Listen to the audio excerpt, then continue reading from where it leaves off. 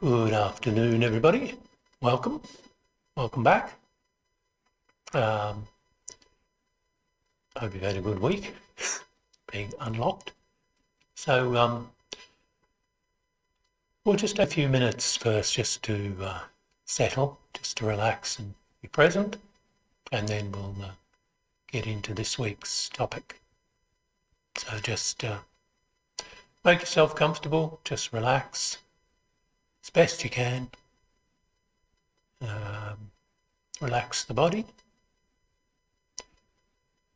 Keep your back straight and the neck, head slightly tilted forward.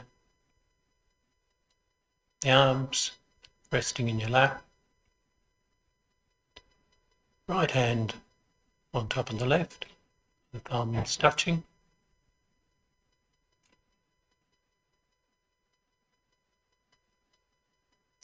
And just relax and observe the uh, observe the breath coming and going.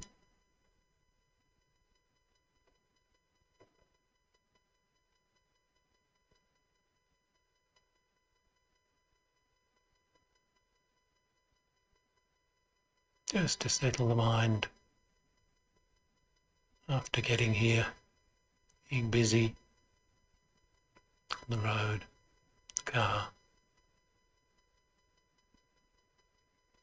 So just relax and observe and enjoy breathing.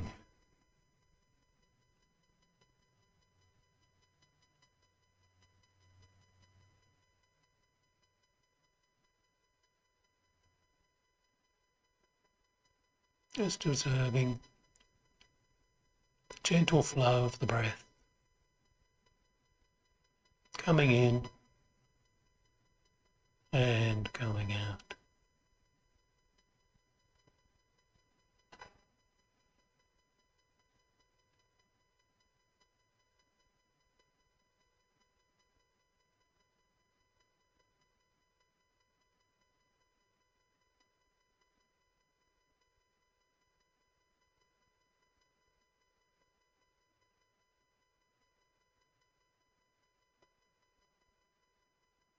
Just let any thoughts settle. We're just observing the breath, the rising and falling of the breath.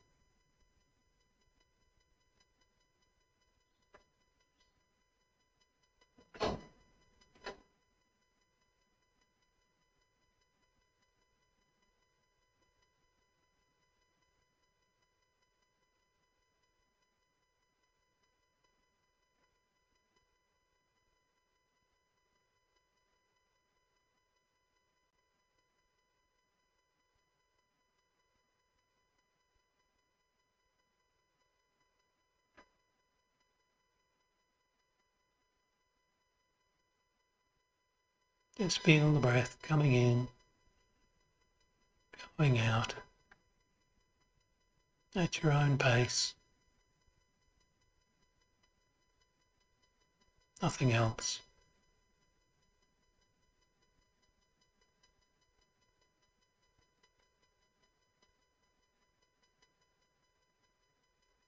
Relaxing the body. And relaxing the mind.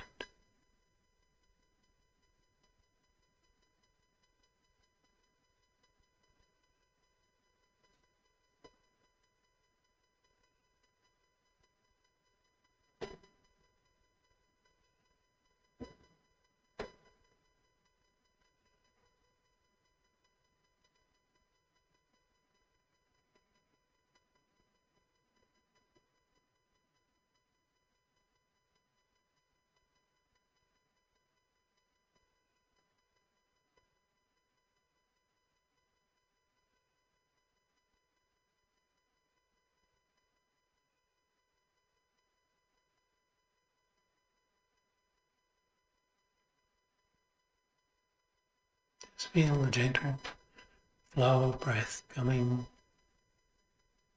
and going.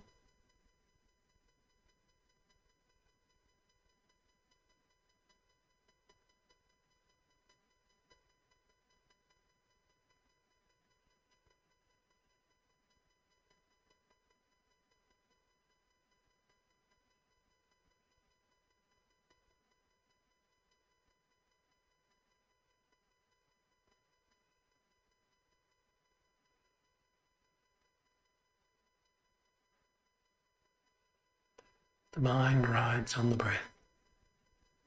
So just let the breath settle and the mind settle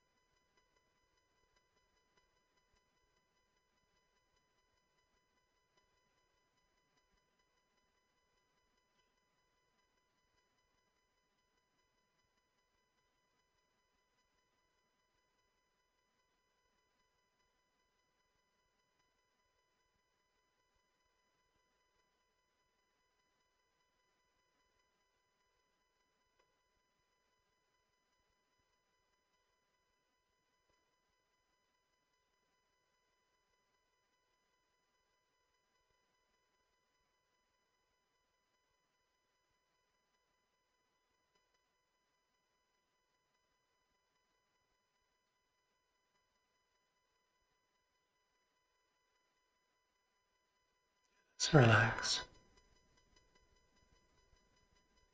Be present.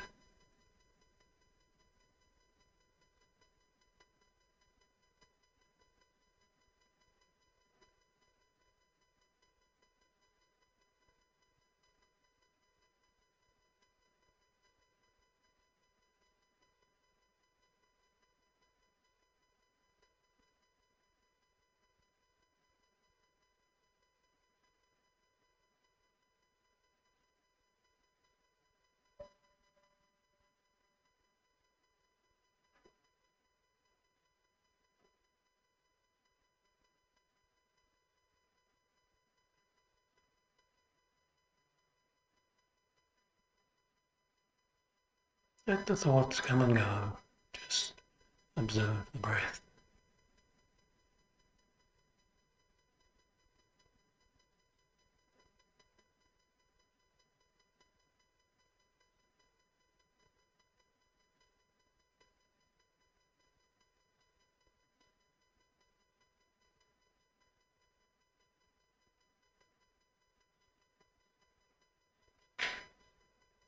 Gentle the gentle rhythm of breathing, rising and falling,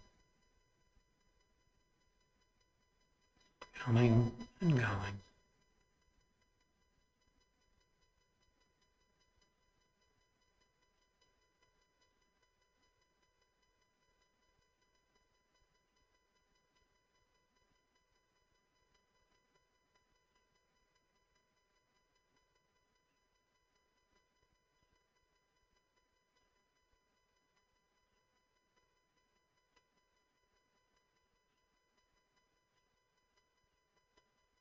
And enjoy this opportunity to do nothing but breathe.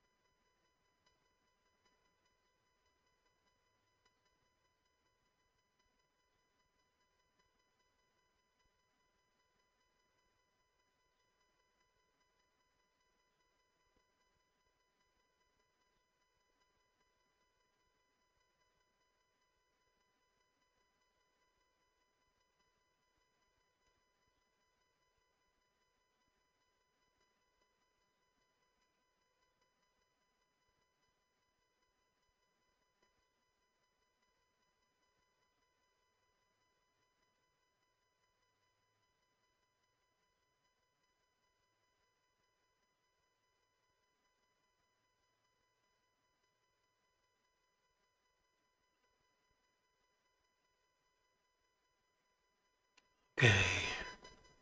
Just keep breathing. So our um, this introductory series is based on Geshe Acharya Thubten Loden's book, The Essence of the Path to Enlightenment. We're up to chapter 4, Refuge. Just a summary of last week. We looked at death. Death is definite, time of death uncertain, and only the practice of Dharma, one's good heart and mind, is of benefit at the time of death. So this week we're looking at refuge.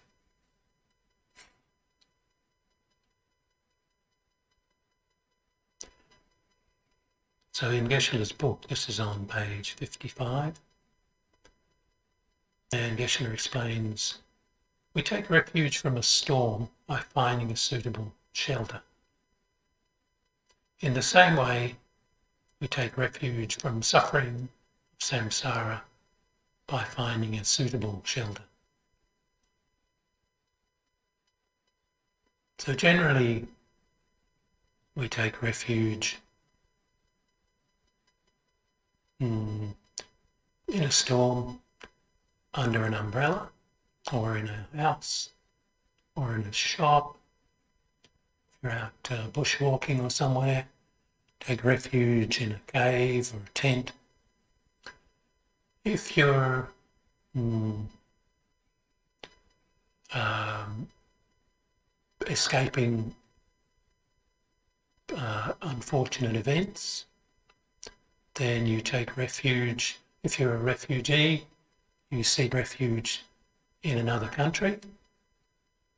For the um, the Tibetans, when the communist invasion of Tibet happened in 1959, the Tibetans were offered refuge in India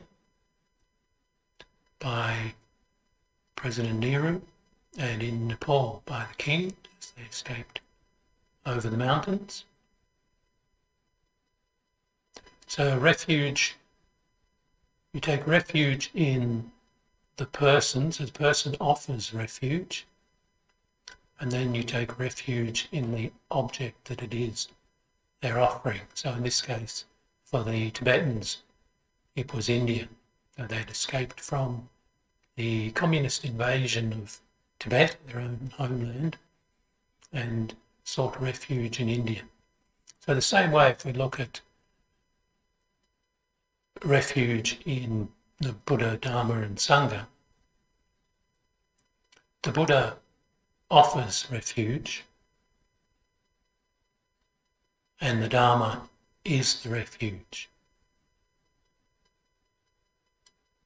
And the Sangha is the spiritual community that supports that refuge.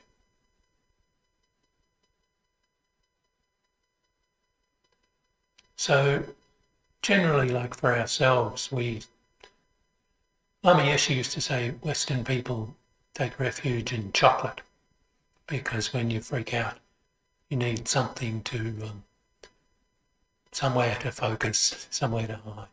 So, and many people take refuge in mm, alcohol or drugs when things get too overwhelming um, as a way out.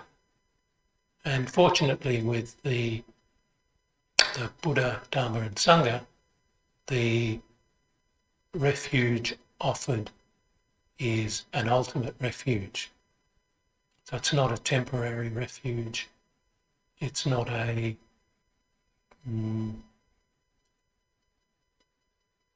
yeah, temporary escape.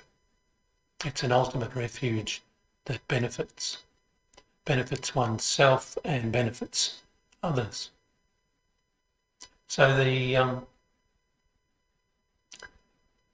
the Buddha is the object of our refuge. And the Buddha's teachings, um, the entire spectrum of Buddha's teachings are referred to as the Dharma, and they are the actual refuge. And there's the internal and external Dharma, and the external Dharma are the books. So Geshe-la's um, Essence of the Path to Enlightenment and his other um, wonderful books, the Meditations on the Path and the Path to Enlightenment, big book. These are the external refuge, the external Dharma, and the internal Dharma refuge is our own experience. So we need to to study, so to listen or read, and to think, to analyze teachings, and then to meditate and apply the teachings. So the the experience or the realizations that we have, that is the internal Dharma. And then with the the Sangha, that's the spiritual community that provides support. So whether it's advice or like here at the Tibetan Buddhist Society, all the people who contribute to making these teachings available. So directly through being here present, assisting with making the um, this available, or through looking after the temple or the property. So all of these things are the the sangha support, and the the Arya Sangha are the beings who have realizations of the Dharma. So who have the actual complete experiential aspect of the Dharma. So not just an intellectual um, an intellectual understanding, which is wonderful, but to really take it to heart and integrate it into one's one's life.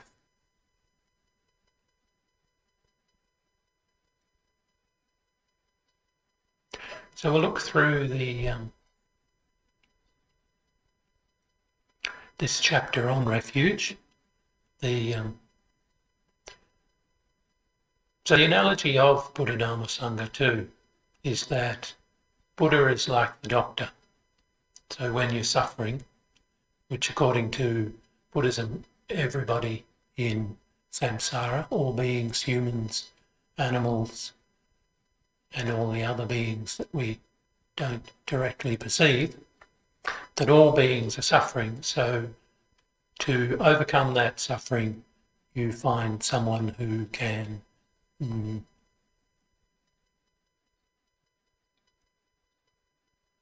provide a remedy.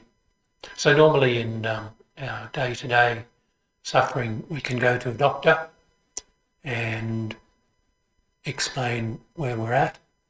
The doctor listens and they will prescribe some method of overcoming the sickness, whether it is physical, mental, psychological, whatever is required.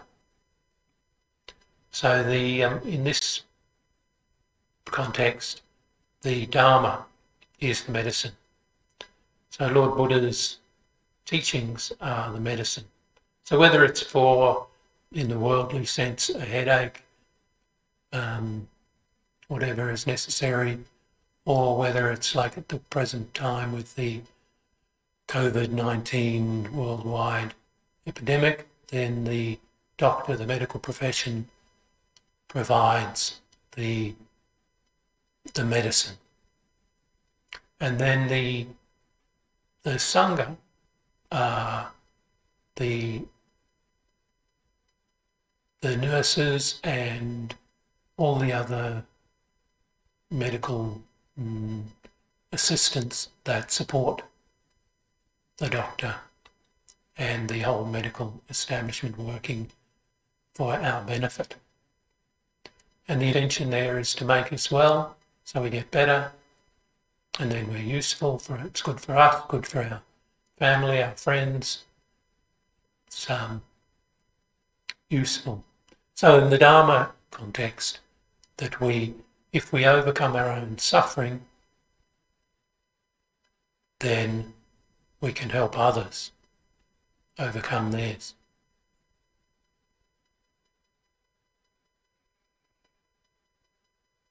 And the experience of the overcoming the suffering is that all of Buddha's mm, teachings, so all of the chapters in in Geshe-la's books are a step-by-step um, method to overcome suffering.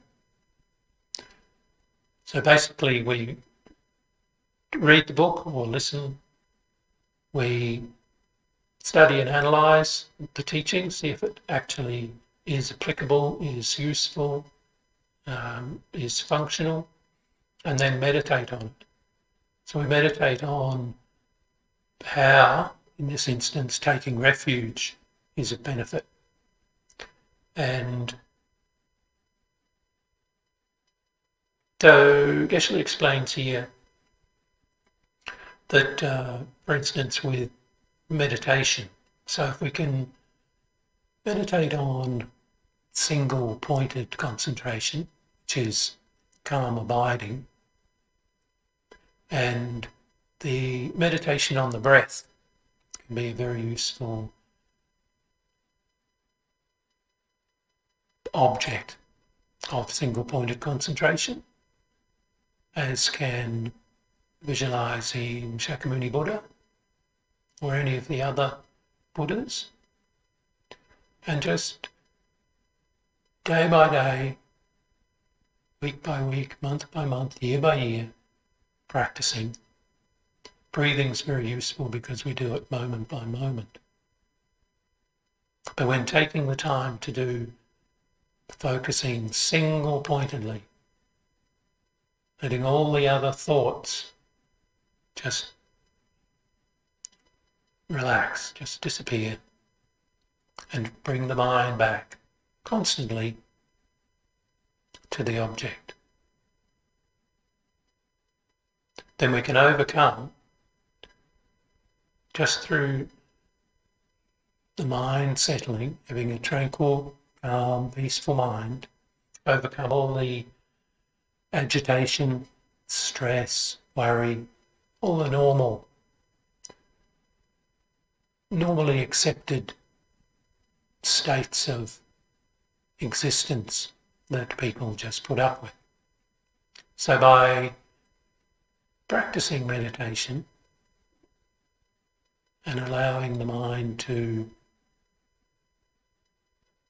just rest, then we can stop all the agitated states of mind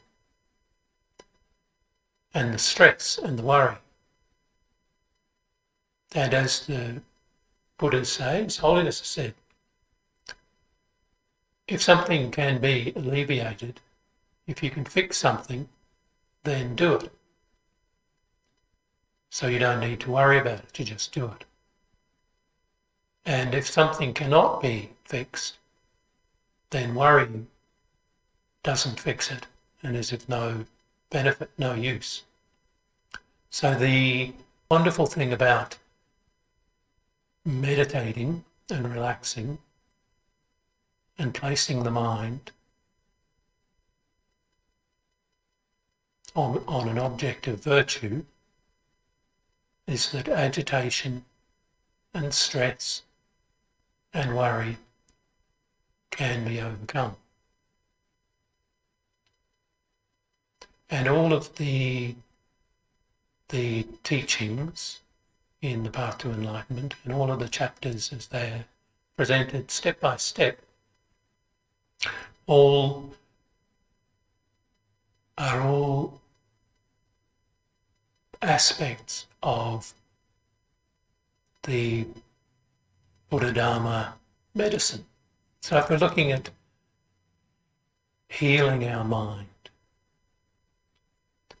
and in the Buddhist view of of um, beginningless lives and the continuum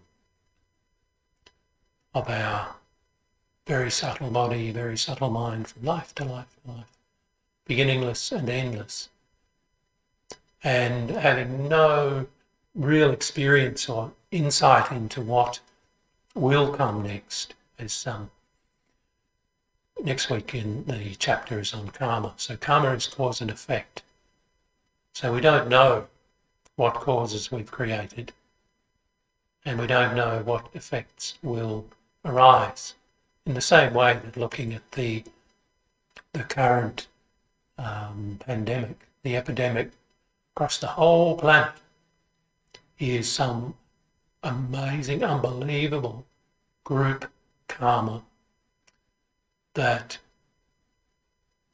apart from a few scientists who do research in this area, nobody saw this coming.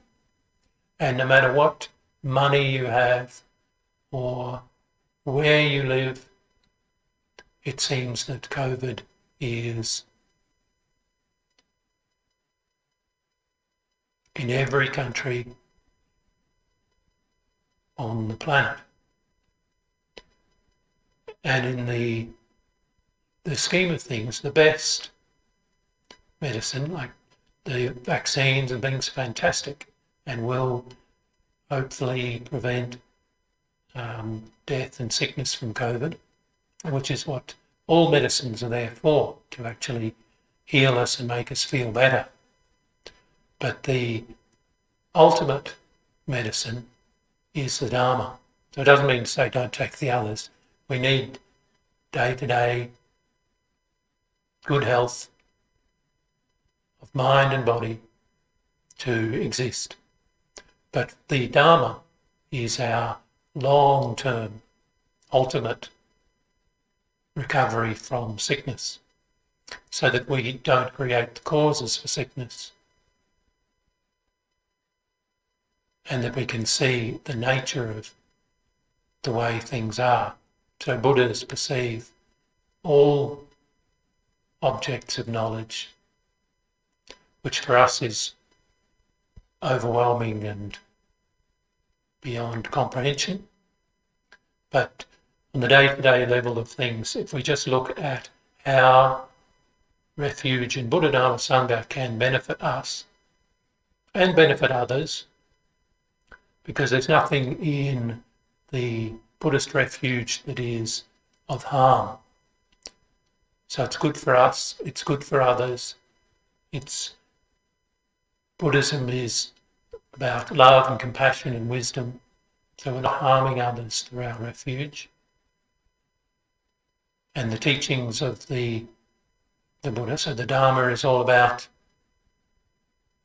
attaining enlightenment for the benefit of all sentient beings. So it's a wonderful medicine for oneself and for others.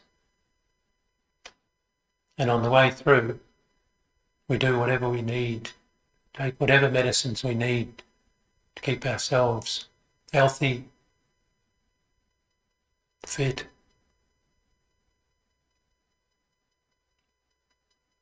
because we do exist as human beings. And we do get sick and we do experience suffering, headaches, various sicknesses. So the wonderful thing about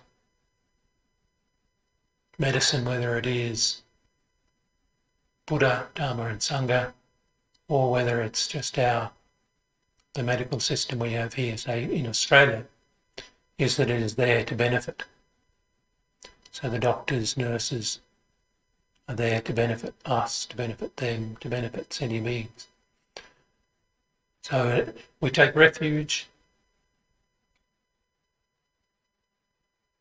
for the benefit of all sentient beings. So we'll just look through the pages here of the chapter on refuge.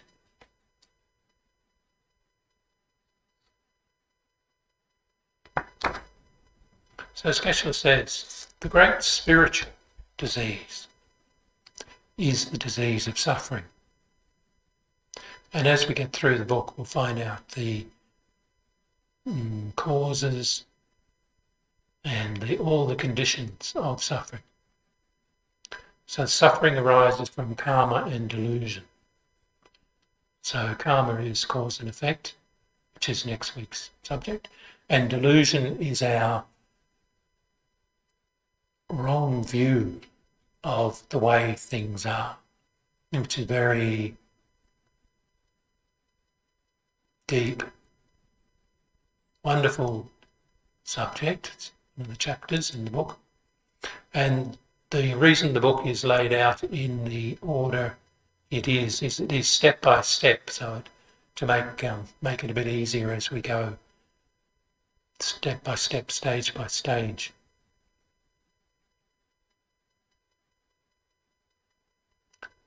So as says, if we listen to the Buddha, if we take the medicine of practicing Dharma and rely on the support of the Sangha, we will definitely overcome the disease of suffering. So that's the idea. Overcome all of our stress, anxiety, worry, fears, fears of COVID, fears of any sickness, fears of aging, death, fear of losing loved ones, fear of unemployment, fear of poverty. The human mind, there are so many states of suffering. So by practicing the Dharma, then we definitely overcome all of these stages. So that's the point. It's not um, practicing Buddhism is not just entertainment or something relaxing. It's very useful in this life, in all lives, and it benefits ourselves and it benefits others because the intention is to the intention is to attain enlightenment to benefit all sentient beings. So it's a very vast, wonderful, big scope, intention to to help everyone. So rather than just friends or family, um, neighbours, or our community or our country, or even our planet, or say just all human beings, it is the intention to benefit all numberless, countless, limitless sentient beings. And whether they are human beings or all the beings in the animal realms and the beings in the other realms. And it's not something that we can do immediately. Buddhas, having attained enlightenment, which can take many, many, many lifetimes. But since time is beginningless and endless, our lives are beginningless and endless, then the intention, the it's a very good idea to practice Dharma, practice meditation, to overcome our own suffering, to actually attain enlightenment, because it is possible. And that everything in Dharma is taught as dependent arising. So it is all cause and effect.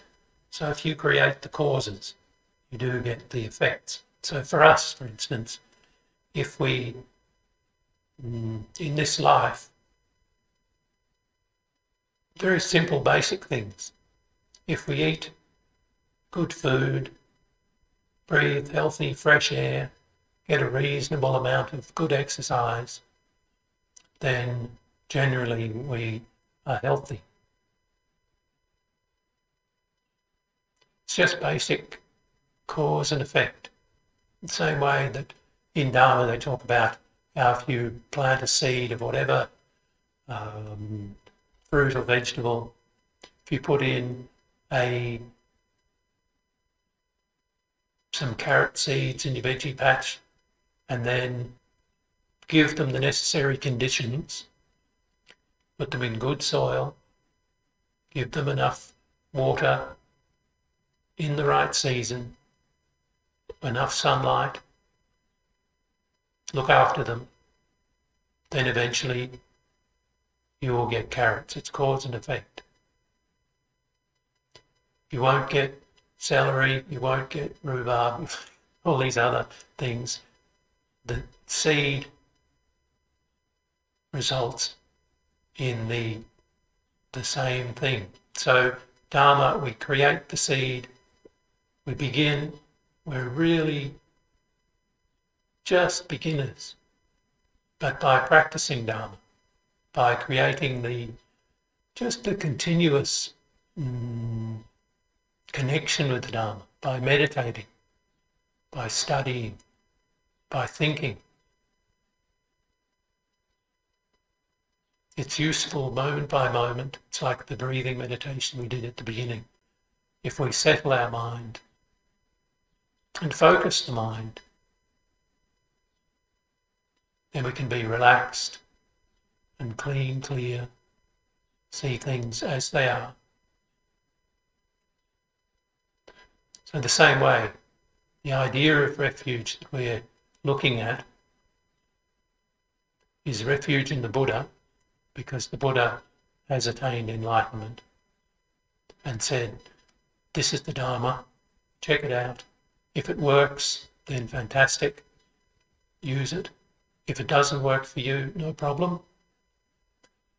So if we check out, look at the Dharma, study the text, and really check them out. Is it valid? It's very important to to have some real appreciation of what you're doing rather than just, I'll do it because it seems to be what everyone else is doing or it, mm, it's there, the Dharma is there to overcome our suffering, the suffering of our mind, our agitated, deluded states of mind, our boredom, our stress, our anxieties. So all of those things can all be overcome. They are just states of mind. They aren't the mind itself. The mind is, is likened to, say, the sky, beautiful, clean, clear blue sky, and the states of stress and worry and anxiety and fear and all these negative states are like smog or dust or clouds that fill the sky. But if we let all that settle, then the mind, the sky itself, is clean and clear. So that's what we're aiming to do, is to see the the clarity, the nature of the mind itself. So the meditations, we do these meditations step by step, a little bit at a time, to just be learn to actually perceive how the mind can be settled.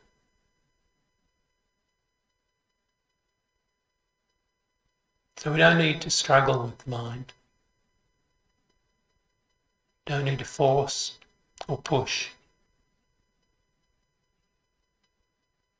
The mind itself is always clean, clear.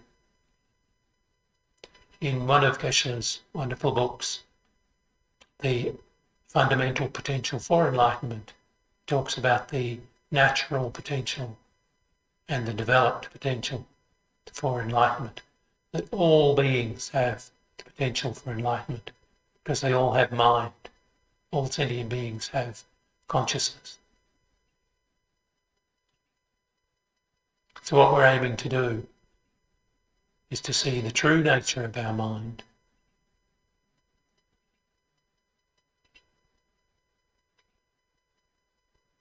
And then develop that into thinking of all sentient beings and benefiting all sentient beings without without any exceptions. So nobody, no one left out.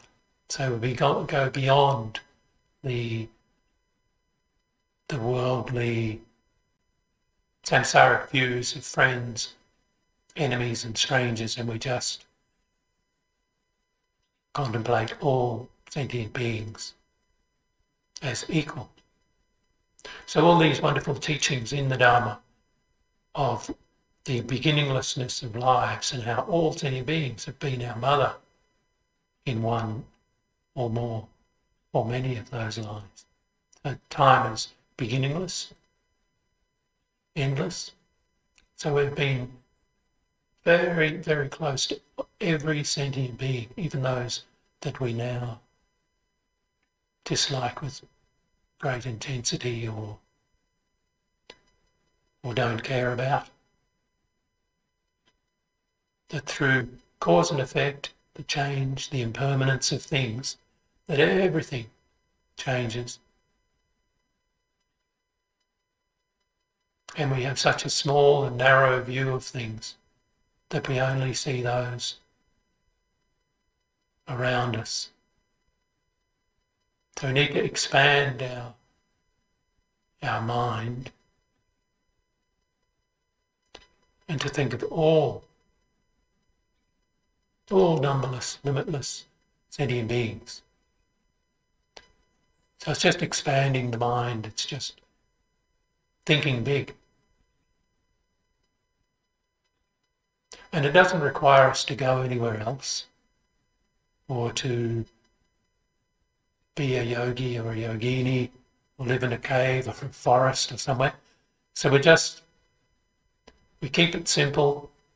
Geshe-la taught it like that here in the West here, where we work or we go to university or school or retired or whatever. But we can fit all the the practice of Dharma into our daily existence. So it's nowhere special we have to be. We just practice where we are. Whether we're at home or whether we're at the shops or in traffic or at work, or at uni, or at the beach, anywhere. It's just the mind that we are working with, working on in our Dharma practice. So we're just observing mind and allowing all the all the negative and crazy states of mind to settle or just in meditation, observing them and watching them pass. Because we can watch the stream, the continuum of states of mind. Thoughts just keep coming. We can't hold on to a thought, whether it's worry or fear. It will pass, and another one will come. You'll worry about something else. So practicing the the meditations, and we can when we get further down the through the book, can look at um, meditations, the ones that you feel best suited for you. But this stage, we'll just look at the breathing meditation.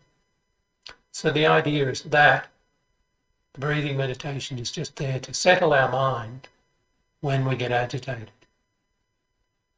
So it's really useful here when we just come to class, having just come out of the traffic and the, the speed of the roads and whatever, the busyness of life. So come sit down, settle the mind, and just contemplate the Dharma. And if you read and memorize the, the texts, just understanding the, the basic outlines. So when you're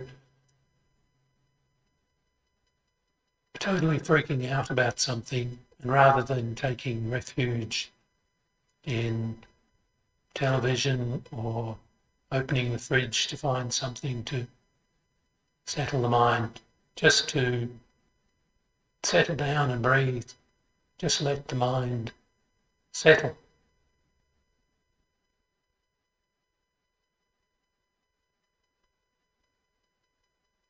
So nothing in our practice is really um, difficult or too challenging. We're not. Um, it's all doable. It's all workable, and that's the point of it all. Where we keep it, we keep it doable so that we know we can achieve this. So Geshe-la here says The Buddha is the principal object of refuge and his attainment, and there are many female Buddhas too. So Buddhas are the principal object of refuge and their attainment, that of enlightenment, is the goal of our practice. We should therefore know something of the qualities of a Buddha. When we speak of the Buddha, generally we think of historical Buddha. So normally when, when we talk of the Buddha, we're talking about Shakyamuni Buddha here behind me. And these teachings do come directly from Shakyamuni Buddha, who was in India 2,600 years ago. And he was a prince, and he renounced his royal life, just showing that being a royal isn't everything, and that that too will pass. And he went looking for enlightenment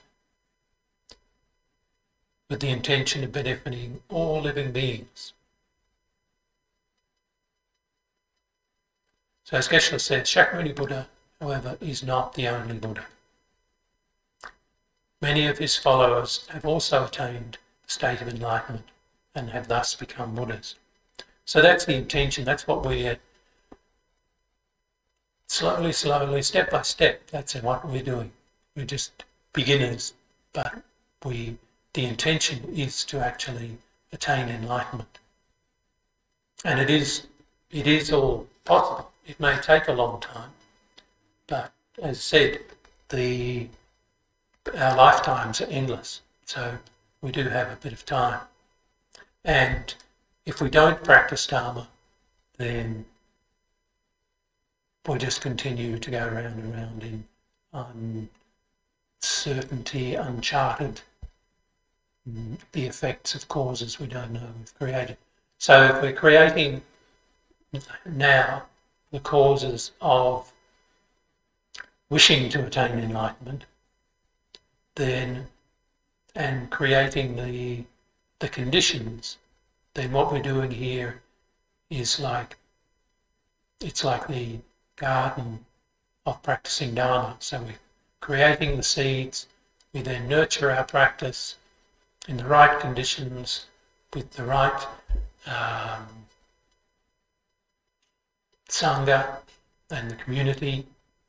And in due course, then we attain enlightenment and not for ourselves, but for all sentient beings. So Geshe said, what exactly is a Buddha then? Good way to understand a Buddha and his or her state of enlightenment is that a Buddha is a being free from the two obscurations. And these are the obscuration to liberation and the obscurations to omniscience. So the obscurations to liberation are karma and delusion. So karma, the causes and effects of just continuing to create unsatisfactory outcomes, and the delusions of thinking that by doing these things these ways, we'll get a better outcome and the gross habit of ignorance. So ignorance is not perceiving things the way they are. And generally, it's a quite a deep topic, and uh, it has its own chapter in there on wisdom. But the generally we perceive things, all of us, as inherently existing, which existing from their side. So we think that the object is that object. So when we see a, um, a car, we just see it as a car.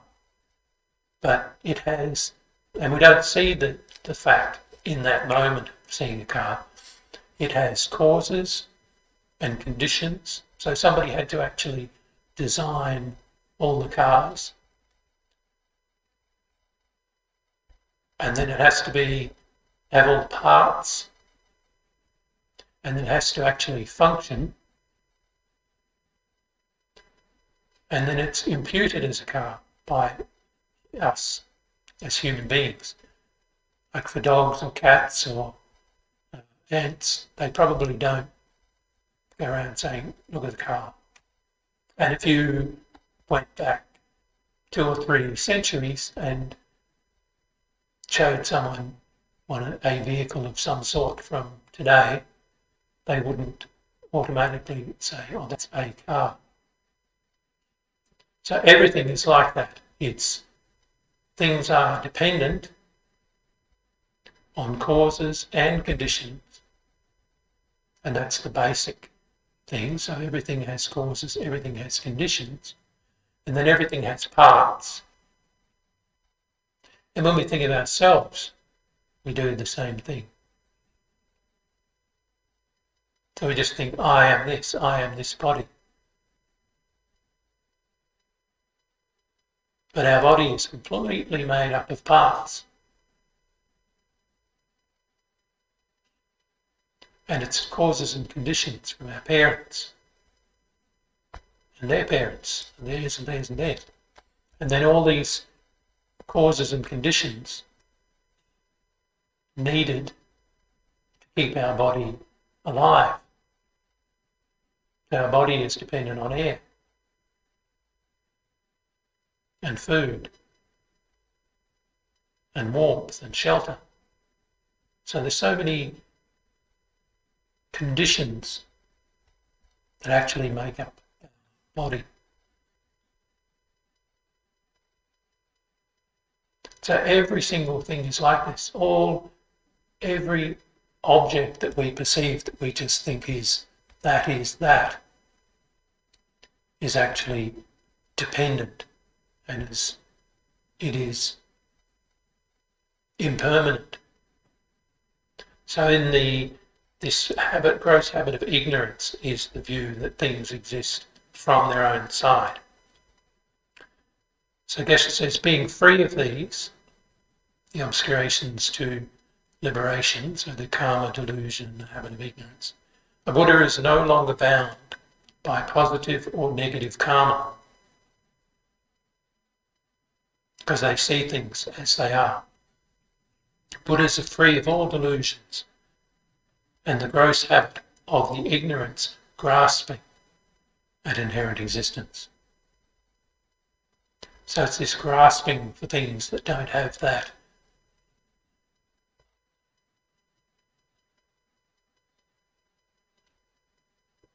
They don't innately possess the qualities that we think they do. The obscurations to omniscience are the subtle habits of ignorance and the appearance of inherent existence with regard to the objects of the six consciousnesses. So this is further exploration, exploration down the track. So the six consciousnesses are eye, ear, nose, tongue, body, and mental consciousness. So each of our body senses, eyes, ears, nose, tongue, body, and mental consciousness are the six consciousnesses. Being free of these, a Buddha has no impediment to knowing because he or she is not in any way deluded or tainted. A Buddha's mind has inconceivable qualities and knowledge. So it's like um, Buddhas, their mind is vast. We just use our mind basically day to day to think of things, worry about things, attempt to create the conditions to attain what we want. Whereas Buddha's minds are just vast and inconceivable. And they are observing and considering all sentient beings. Any being then who frees their mind of the two obscurations, the obscurations to liberation and the obscuration to knowing, is a Buddha.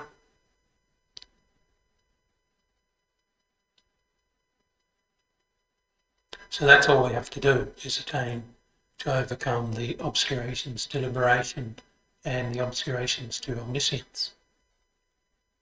That person has become enlightened. And in doing so, they achieve two great aims. The aim of perfect benefit to oneself and the aim of perfect benefit to others.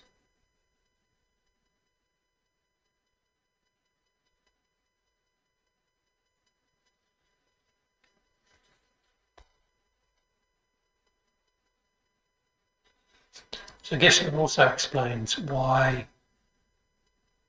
mm, taking refuge with confidence. So basically, there are four reasons why a Buddha is worthy of being an object of refuge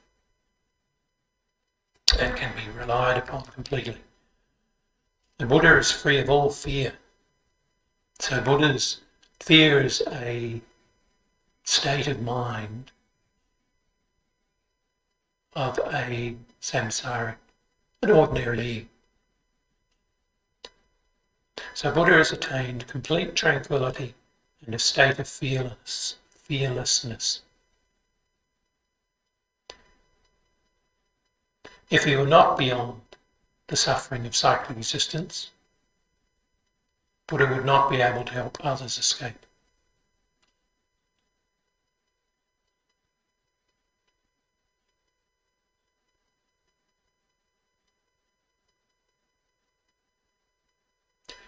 The Buddha has realized the path of cessation and has the cessation of suffering. Buddha has the perfection of all qualities and all encompassing knowledge, and therefore has unimpeded capability to benefit others.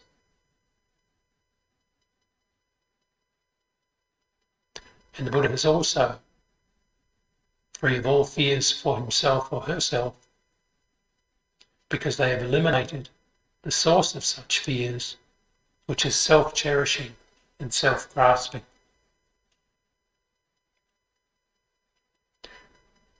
And the Buddha has skillful means to free others from fear, because the, the teachings, the Dharma, pacifies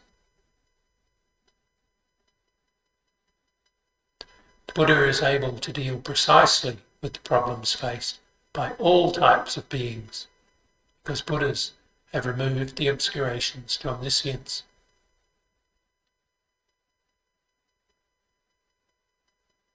Thus, Buddhas have no impediment to knowing the minds and capabilities of living beings, and can act spontaneously and naturally to respond appropriately to the needs of living beings. So that's where, in practicing or mm, living the path to enlightenment, we create the connection to Buddhas, to the Dharma. So we already have a connection in that we we are here. So that's we have a connection the and in this time it's said that the Buddhas appear. So all of like Acharya Thubten Loden, all the other lamas, His Holiness Dalai Lama, are all Buddhas manifesting in human form. Because at a higher, deeper state of meditation, it is said that we can actually perceive Buddhas in our meditation. So we don't have those abilities. We are like, mm, like our animals, pets that we have, that are, have wonderful conditions and we look after them and they live in the same house as us, but they don't have the same abilities as we have.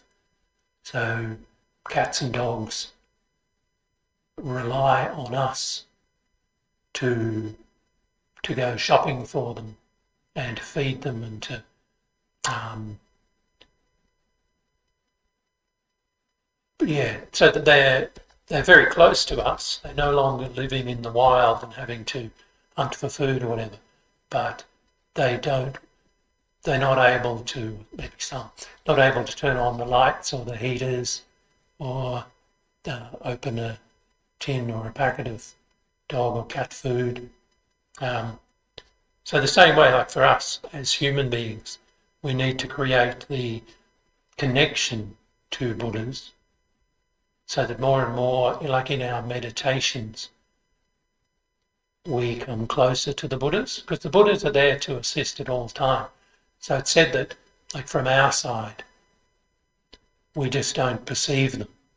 So that's why in in doing, in generating meditation practice with pure good motivation. So, not just grasping to see Buddhas, but with a meditation, with the thought of meditating to benefit all sentient beings, to, so wishing to attain enlightenment for the benefit of all sentient beings, and come closer and closer to understanding Buddhas and perceiving Buddhas, then we are clearing the obscurations and delusions of our mind. That's what we're doing step by step so that it all actually makes sense and is workable and functional as we Mm-hmm. as we follow the path to enlightenment. So one of the other qualities of Buddhas, taking refuge in Buddhas, is that they have great compassion and love for all without discrimination. So the Buddha helps all sentient beings equally, never favouring one over another. So in contrast, ordinary people it's us. Discriminate between those regarded as friends, enemies, or strangers.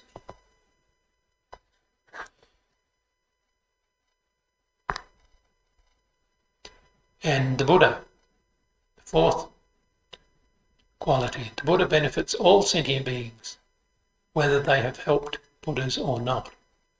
So the Buddha helps any living being, regardless of whether they have helped a Buddha. By contrast, most ordinary people only look after those they hold dear, the ones who have helped them in some way or may do so in future.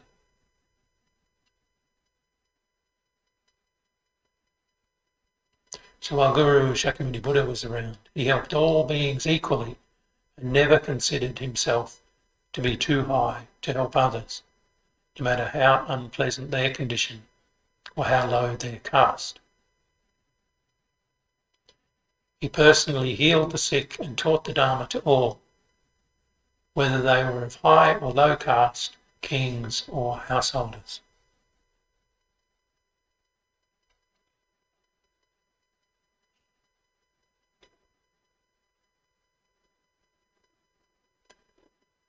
So taking refuge in the triple gem, Buddha Dharma Sangha,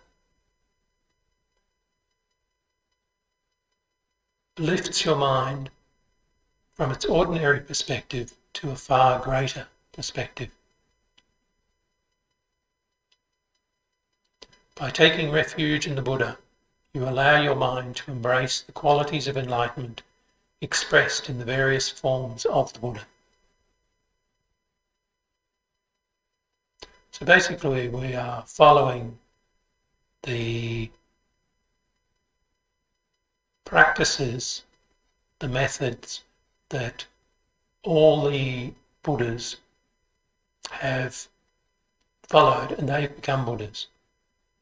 So the the six perfections of which we'll get to more and more explanation generosity um, ethics patience joyous effort or sometimes called perseverance uh, concentration which is the meditation settling the mind and focusing. So whether it is the breath or any other object that we're contemplating. And the sixth perfection is wisdom, which is seeing the actual the actual nature of things. That all things are dependent arisings. So everything we are experiencing,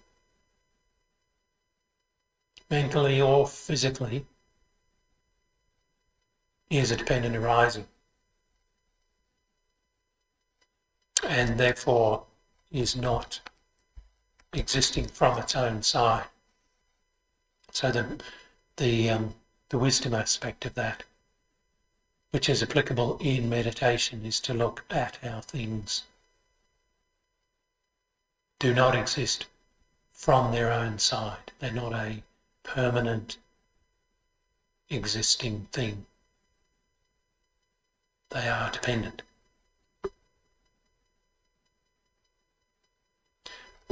So just to um, complete this chapter, Geshe says, by taking refuge in the Dharma, you place your confidence in the philosophy and practices of the Dharma as reliable ways to view and respond to the events of life. So that's basically making it a functional practice on a day to day level. There's no time when Dharma is not applicable.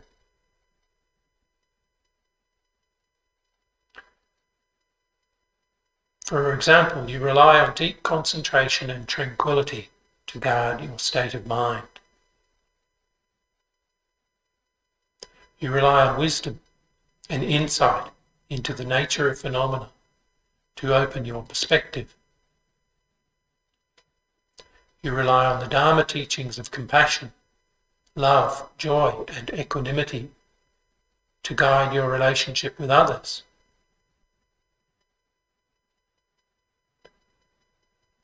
By taking refuge in the Sangha, you rely on like minded people whose perspective is uplifted by the practice of Dharma.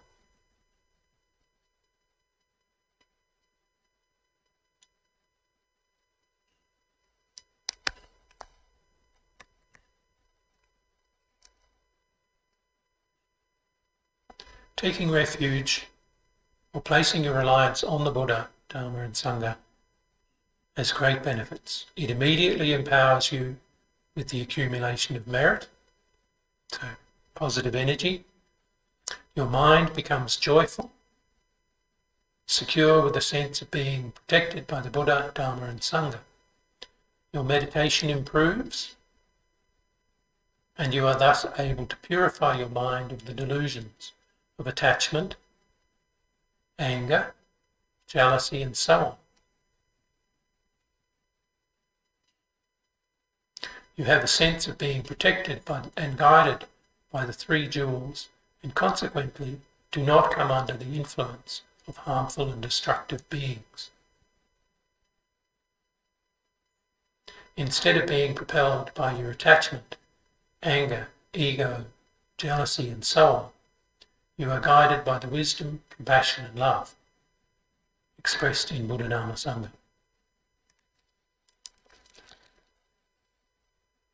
So we'll do a few more minutes of um, bringing the, the mind back to the breath and just um,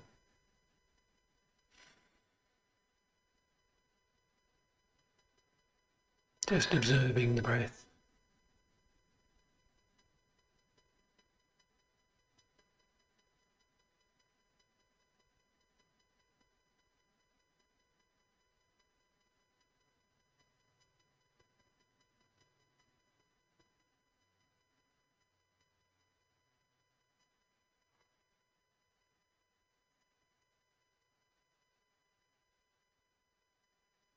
And letting the mind settle.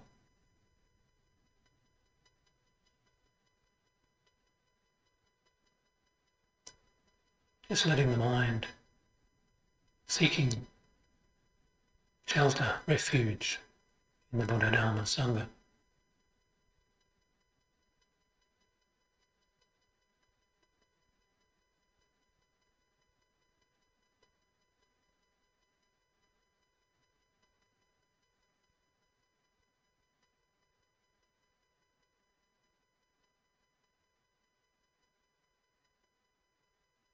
So just let your breathing rise and fall.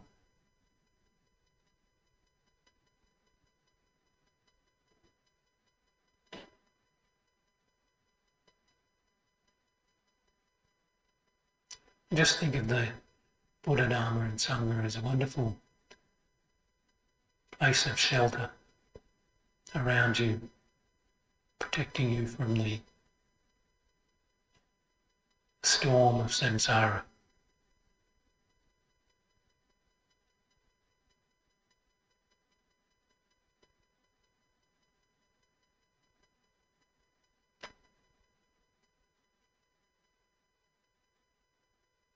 Just allowing your mind to be completely relaxed naturally.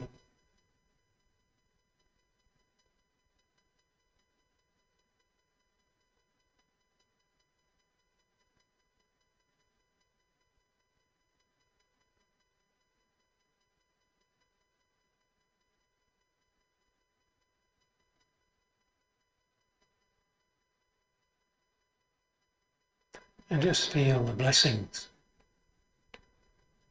the energy of the Buddha's mind at your heart and radiating out.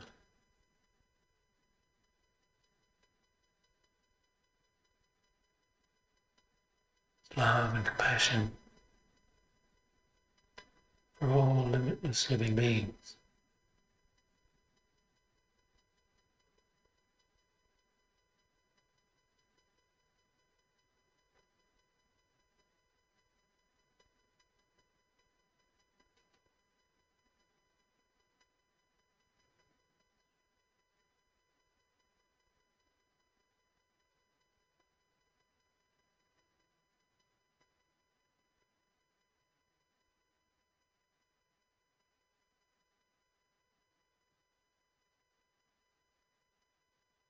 Just let the mind be at peace, be at peace with itself.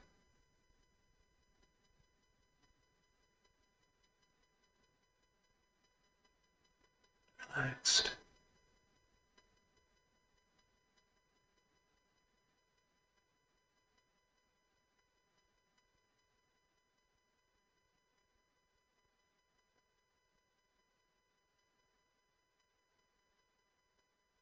And very clean and clear.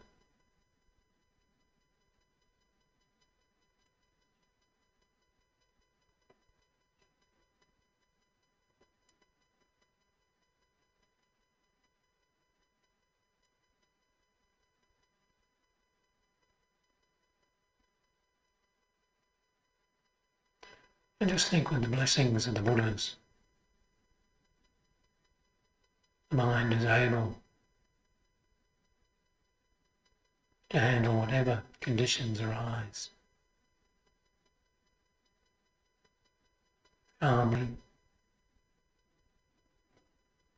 evenly, clearly.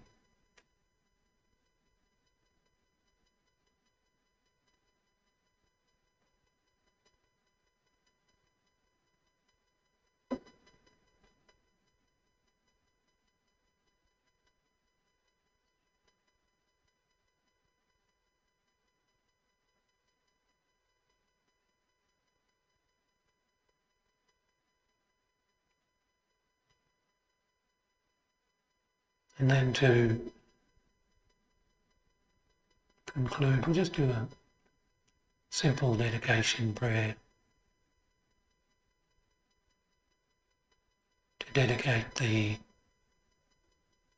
the merit, the virtue, the good intention of this our practice, so that it is of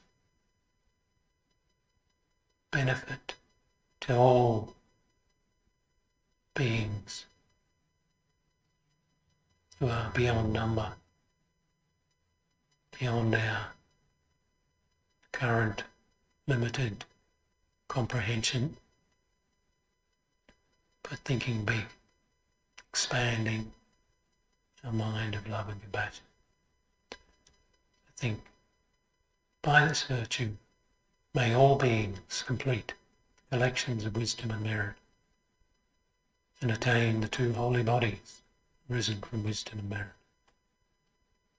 May the precious superior mind of enlightenment be generated in those who have not yet generated it,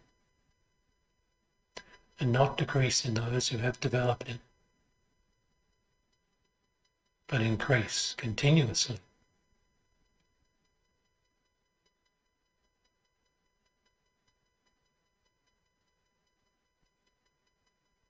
Okay, thank you.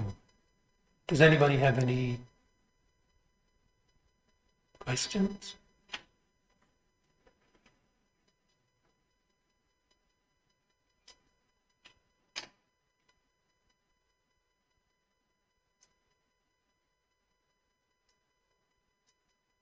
It's a beautiful sunny day.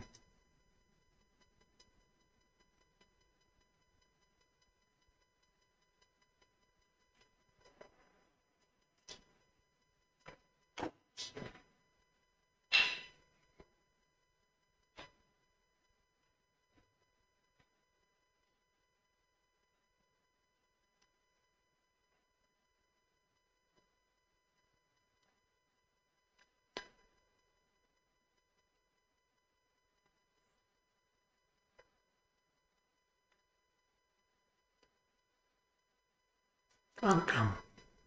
Do we have any questions online? Are we on delay? We have a time delay. Yeah.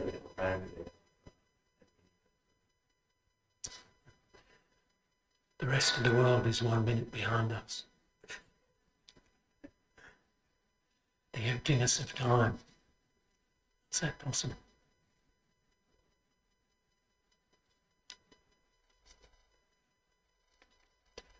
Now, the wonderful thing about Dharma practice is that it is useful and applicable anywhere, anytime, and don't need any special equipment or anything. It's just the mind. So whether it's automatically practicing love and compassion or just settling the mind when there's mm, conditions of freak out, something, stress or fear, then creating the ability to just settle the mind and not follow trains of thought of worry or anxiety or these things. Yeah. No question. All right. Thank you very much for coming. Um, we've got we've got tea and coffee and things out here, I believe. Yeah. Do we have tea? If people are online, they have to go and make their own Thank you. Um, yeah, so just out here, tea and coffee and cakes. Or also, we have the enjoyment shop open, a vast selection of goodies that Janine will proudly show you through.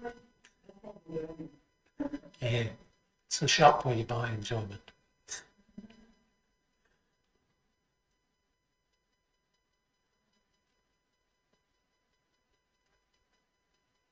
Thank you all for coming. Have a relaxed, wonderful week ahead.